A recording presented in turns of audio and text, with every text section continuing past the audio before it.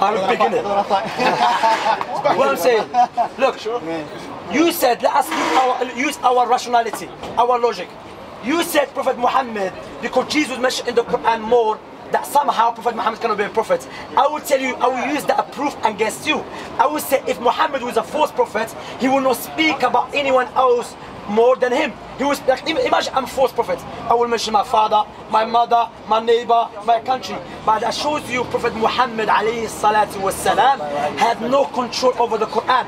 As Allah said, وَمَا يَنطِقُ عَنِ الْهَوَى إِنْ هُوَ إِلَّا وَحْيٌ يُوحَى عَلَّمَهُ شَدِيدُ الْقُوَّةِ that Muhammad والسلام, doesn't speak from his own desires. He speaks from the revelation. So Prophet Muhammad, that Jesus, his name, mentioned more than Prophet Muhammad. And remember, Moses' name mentioned more than Jesus. And doesn't mean that Prophet Muhammad is not prophet. So that criteria, brother, just threw it away.